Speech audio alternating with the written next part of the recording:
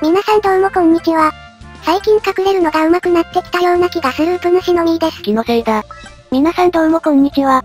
かくれんぼマスター、レイムちゃんです。お前このゲームやったことあんのか？ない。鬼に金棒、隠れる人にシェルター。絶対外からじゃ開けられねえだろうな。不滅のかくれんぼ少女、フランです。同じ店は役のマリサだぜ。ということで今回もみんなで楽しくかくれんぼをしていこうと思います。あ、このゲームを知らない方のために簡単にこのゲームの説明をすると、鬼に一発ぶん殴られたら人生終了っていう内容のゲームです。人生終了ってなんだよ。え、そのまんまだよ。そもそもそんなゲームじゃねえわ。それじゃあ早速やっていきましょう。最初のステージは空港で、今回珍しく鬼になりました。めったに鬼になることがないからなんか嬉しいぜ。いやいや、マリサはいつも鬼になってるわよ。レイムこれ終わったらちょっと来い。探す側ってマップにもともとあるものの配置を覚えないといけないから大変だね。確かにごちゃごちゃしているところなんていちいち覚えていられないわ。えー、っと、このブロックがこう並んでて、カバンとか細かい小物は覚えきれないぜ。そこはヒントを頼りに探していくしかないね。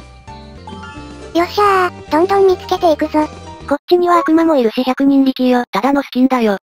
あれ？この柵、最初からなかったような。くらえ、鬼パンチ。ドラー。おー、正解だぜ。幸先いいじゃない？この調子でどんどん怪しい箇所を見つけていこう。さっき見つけた人が鉄フェンス1だったから、あと何人か鉄フェンスが隠れているはずだぜ。ん？これなんか怪しくない。鬼パンチ。あー、外れたわ。あ、ヒント発見。セメント壁らしいぜ。もしかしてこれのことかな？うわー、違ったか。あ、爆弾がゲットできるぜ。爆弾を使えば直接殴る必要がないからミスっても体力が減らないのよ。この壁に投げてみようか。おー、お見事。は、初めて爆弾で隠れてる人を見つけたよ。てかそこら中爆弾だらけじゃねえか。爆弾を投げまくって隠れている人を見つけよう。そこの壁だ。おー、正解だぜ。残り4人よ。時間も時間だから早く見つけないと。今さっき気づいたんだけどさ、これって隠れてる人を探し当てると体力が回復するんだね。へえ、そうだ。お前らも知らなかったのかよ。あと3人、一体どこに隠れているのかしら？美味しいお菓子あげるから出ておいでさらに今ならレイムちゃんのブロマイドとサインもつけちゃうわよ。それはいらねえ。ちょ、もう時間がない。お、あと一人になったぜ。あと一人さん出てきて。でないと目玉をほじくるぞ。棒黒い塊じゃねえんだよ。くー、ダメだった。残りあと一人だったわね。惜しかったんだぜ。次こそはどっち側になったとしても買ってやる。お次のステージは同じミマートだね。さあウプ主はどっち側になるのかしら？お、今度は隠れる側だね。しかも初めての食品よ。毎回消火器とか段ボールとかマートにあまり関係のないものだったからな。卵はどこに隠れようかな。鶏のそばがいいんじゃない？どこに鶏なんかいるんだよ。最初から卵が並んでいるところが無難よね。そもそもこんな白い卵なんて意識して覚えてねえと見過ごすような気がするぜ。私が鬼だったら間違いなく見過ごすね。この辺にいたら鬼も気づかないでくれるよ。よし、完璧に擬態したぞ。それじゃあ鬼ごっこスタートよ。ヒントで卵って出ないでくれるといいな。そうだね。もし見つかりそうになったら卵爆弾になって鬼の顔にぶつかろう。卵爆弾ってなんだよ。鬼は必ず食品を怪しんで探しに来るでしょうね。ああ、運に身を任せるしかねえな。この棚は誰か隠れているかとりあえず他の棚を見に行くか。あ、危なかった。いきなり見つかって地獄に落とされるかと思ったわね。地獄には落とされねえだろ。でもこのナマコ大王はここら辺の棚を怪しんでいるから気をつけないとね。人違いだよ。ああ、早速誰か見つかっちゃった。これで他にも棚に隠れてるって思われるぜ。どうか向こうの洋服コーナーに行ってちょうだい。鬼よ、全員向こうに行けああ、こっちに来ちゃった。なんかこの辺怪しいよな。やばい。めっちゃ見てる。こ、ここには何もないから向こうを探した方がいいぜ。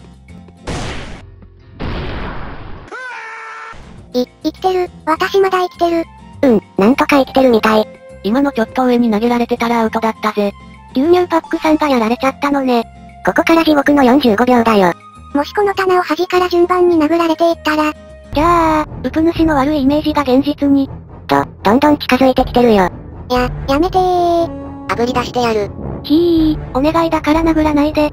い、生きた心地がしない？よくある怪談話でトイレに逃げ込んで端からドアを開けられるやつに似てるね。せ、セーフかな？おらー、出てこい。ひー、とんでもねえ撮影なんだぜ。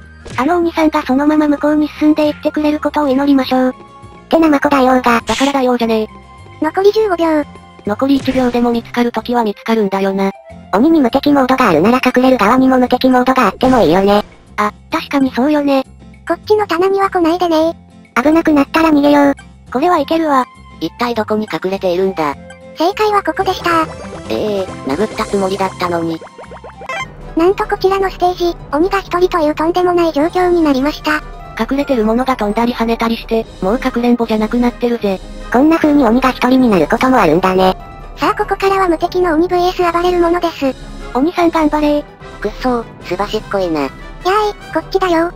ちょ、そんなにぴょんぴょん飛んでもいいことないからおとなしくしなさい。はーい。飛べ鬼。よし、追いかけろ。完全に鬼ごっこになってんじゃねえか。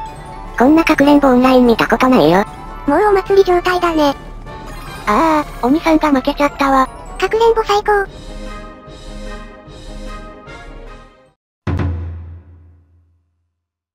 今日も最後まで見てくれてありがとな。